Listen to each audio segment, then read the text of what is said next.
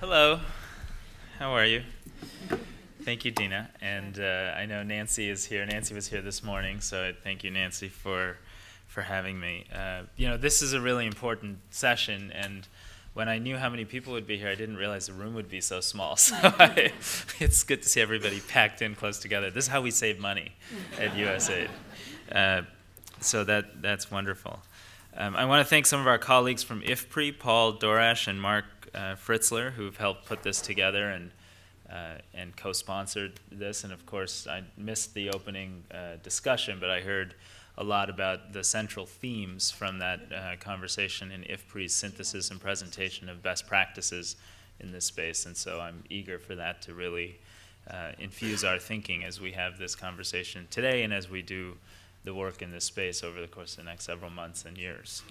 Uh, I also want to thank Ambassador Elkanah Odembo from the Embassy of Kenya. Is he here?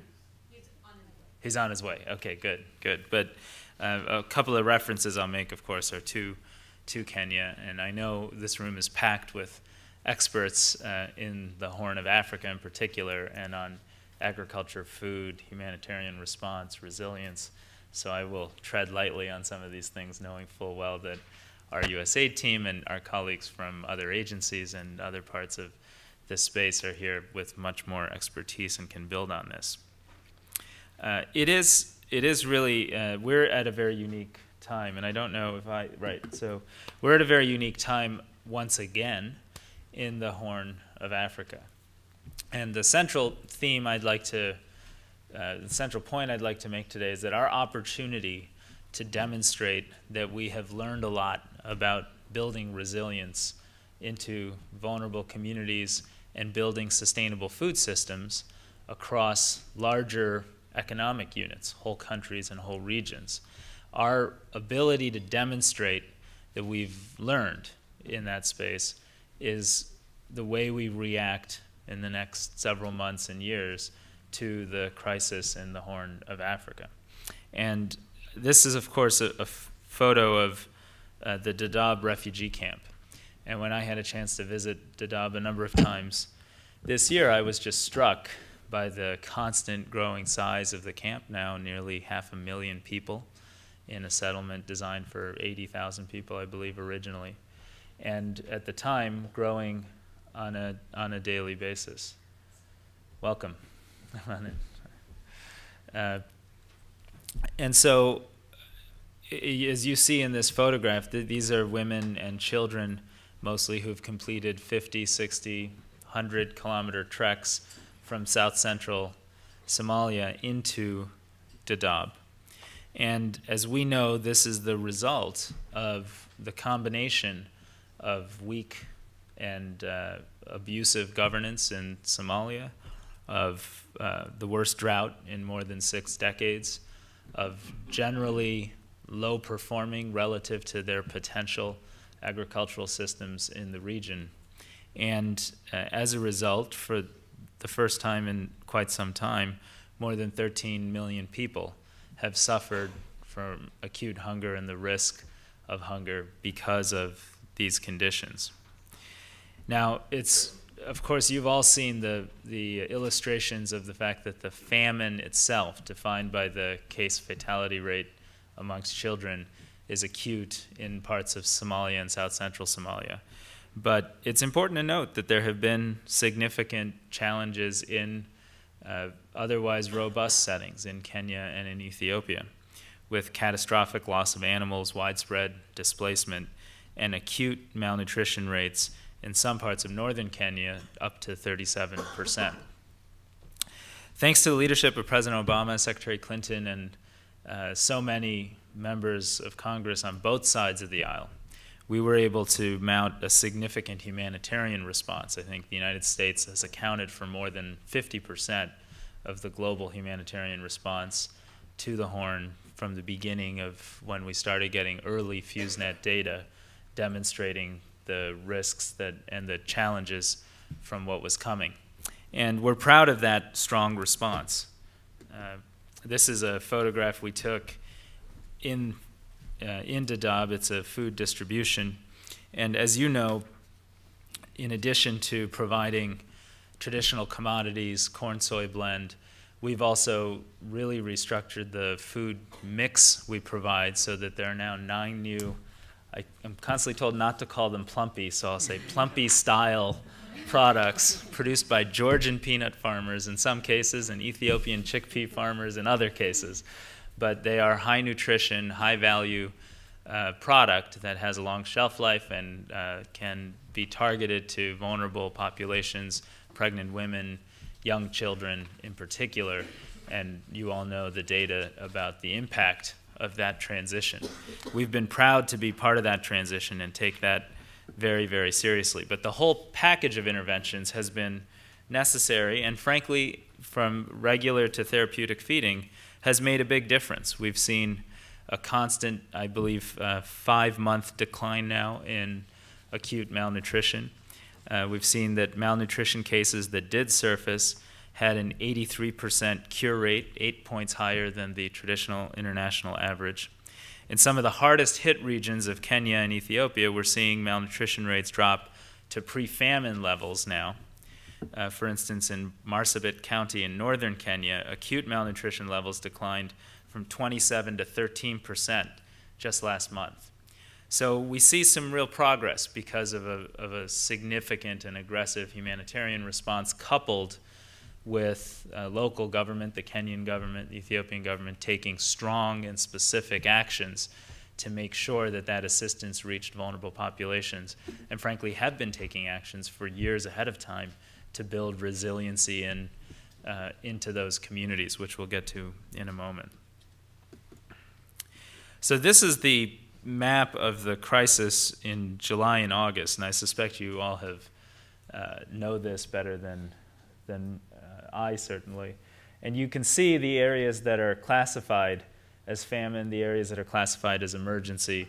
And of course, everyone in this room recognizes that a famine designation is not a food availability designation. It's, a, it's more complex than that, but it also really does capture the child uh, mortality rate on an acute basis. And that's why, oh, I'm sorry, this was, the, right, so this Yes, this is October, December. Let me see if I have the other one. Okay, good. And, and so you've seen that what we saw, the trend that we saw, was a widespread emergency and a very localized famine that then grew into uh, a larger area of uh, designated famine, but the area that was where there was able to be a successful humanitarian response was essentially downgraded because of the effectiveness of that response. And I would note that even in some famine affected areas and Shabab controlled areas, we've seen some significant improvements in food access, in food prices, in child acute malnutrition uh, rates, and in case fatality. So we've actually seen the response be effective in a number of different settings, some of which, you know, that frankly I think we all probably debated whether or not um, the response in some Shabab controlled areas could be as effective as it had been. And together with the OIC and with a range of other partners, and most importantly with local groups, I think it's been, it's been very, as strong as it could be given the difficult context and difficult situation in which they're working. Now, I know that everyone here is acutely concerned about the removal of certain humanitarian groups just a week or 10 days ago and we will continue to stay very focused on making sure that individuals, families, children, women in acute need uh, have access to life saving services and opportunities for aid and assistance. Uh, but it, so it's not to say that we're on a natural path of resolution here. It still will take a lot of work on behalf of the humanitarian partners. But I do want to talk a little bit about, because I know today is really about resilience, about the concept of resilience both before and after this crisis, where both before and after are difficult to define. So let's talk about the concept of resilience um, throughout uh, this situation. This is a, a, photograph of Kenyan pastoralists receiving insurance. Uh, the insurance uh, that they receive is via an index based uh, livestock insurance program, and it's this, uh, coupled with programs that we've seen in India and parts of Latin America with weather uh, indexed insurance, satellite monitoring, independent verification, easy payment, uh, clear terms of policies, uh, are one of the big breakthroughs in offering tools and technologies that can improve resilience for vulnerable communities. This past October, at the height of the drought, insurance pay payments were made in this specific pilot to more than 600 pastoralists who had purchased coverage for their animals earlier in the year. And ultimately, this is part of a project that partners with Swiss Re that is expanding access to those types of insurance programs in seven other countries around Africa in different agroclimatic areas, obviously, because that's how they decouple risk and how they're able to offer a large-scale insurance program. It's interesting when I get a chance to talk to American uh, groups of Americans that fully understand the role of the United States government in providing risk protection for farmers and ranchers in this country. They get it right away. You don't have to have a conversation about humanitarian development, resilience, have these long conversations. You don't even need to do it. You just say, what's the most important thing the federal government does for you? And it's they provide risk mitigation in a business that to this day in this country is inherently defined by the risk of the activity. And obviously, it goes without saying, in much of the Horn, you don't have the kind of large scale public risk management programs, and maybe those that have been tried have been less effective. But this model of partnering with private sector insurers, of coming up with independent verification, of figuring out how to deliver a private sector product to a very small uh, economic unit or a household is taking off in parts of South America, in South Asia, and certainly in sub-Saharan Africa. And I expect this will be, and I hope this will be a big part of your resilience thinking going forward. This is a child in the Dadaab refugee camp, either who just received, actually judging by the look in uh, his eyes, maybe he's about to receive vaccinations. My son just got his vaccinations, and he was he wasn't that happy afterwards. He was pretty upset. Uh, I was struck when I visited the camp there, and I think this is a great testament to the leadership of the Kenyan government uh, that they have introduced uh, not just the full suite of basic vaccines, but uh, Hib vaccine, Haemophilus influenza B, and Pneumovax. Pneumovax is a pneumococcal conjugate vaccine that up until quite recently cost $54 a dose in this country, even though it's been accessible to our kids for quite a long time. It's estimated that almost all of the life saved from this product around the world will be outside of the United States, of course. Uh, but we have seen almost no uptake until recently. And this year, President Obama, together with other world leaders, made a significant multi year pledge, brought the price of the vaccine down about 80%. That was in May. This is in September. This child is receiving this vaccine in the Dadaab refugee camp. So it's another example of something you know that modern technology, health, and public health interventions are a core part of a resiliency agenda.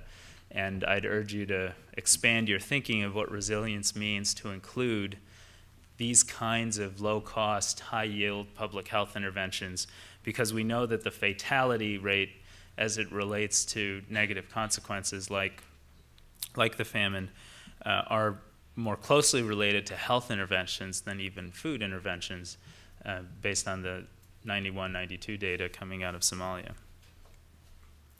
Now, there are a lot of other parts of the resilience agenda I'm not even going to try to get into land management, verification, uh, the ability to save assets for women and men, uh, the ability for children to have basic education, the whole full range of things that we consider basic developmental priorities. I hope one of the things you're doing today is having a discussion about which are the most valuable in which settings, because ultimately we all will have to make tough resource trade-offs as we invest in a resilience agenda.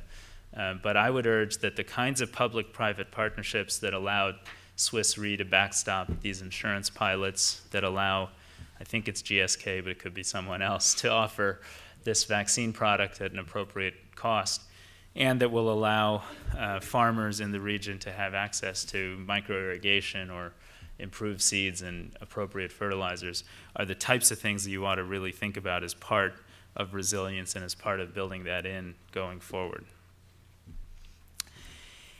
And that brings us to an initiative that this administration has launched and that many of you have worked on. Certainly, I see Susan and Beth and other folks from our team, Cindy and Laura, that have helped shape that we call Feed the Future.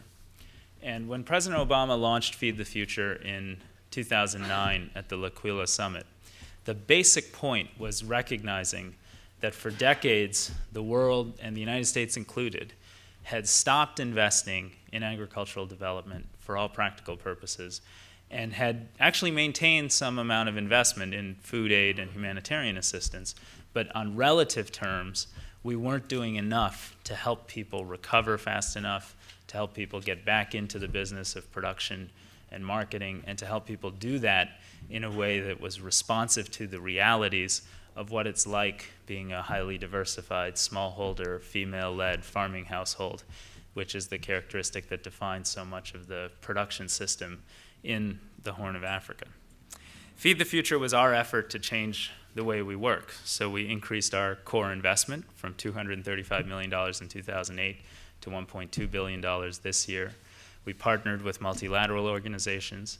We've, I think, appropriately, but been criticized for being a little slow to move in countries because it was important that countries developed their own country led plans, that the AU and that CAADP in particular uh, ran an effective process to make sure that those were inclusive and vetted and appropriate plans, and then presented those investment plans to us, to other donors, and to the World Bank, but from a position of leadership and strength. And, uh, and in fact, that has happened in so many countries throughout sub Saharan Africa. This is a photograph, of course, of a, of a woman farmer uh, in Ethiopia now, since 2003 in Ethiopia, the government has been expanding its services to small scale farmers, helping them uh, receive benefits and helping them receive improved seed technologies, improved fertilizers, uh, and extension support so they have more knowledge and insight as to how to improve their production. Uh, they've also, of course, engaged in a comprehensive safety net program together with USAID, the EU, and the World Bank. That program targeted households in 318 districts, helping to provide basic food stocks and other asset building resources to families that needed that in order to get to a level where they could both improve their production and uh, focus on protecting their household through difficult, risky periods going forward. And we've seen that that kind of an effort has contributed to helping millions of people not require basic humanitarian assistance during this crisis. And I know there's some debate about is it four and a half million or seven and a half million, but the bottom line is those are massive numbers. And the fact that we can say that that program has effectively protected that number of people from being in a position where they have to seek humanitarian assistance, in addition to its basic value of providing dignity, um, is laying the groundwork for real economic development and, and agricultural development. I, in our humanitarian responses, we've tried to build that kind of transition to recovery in from the very beginning.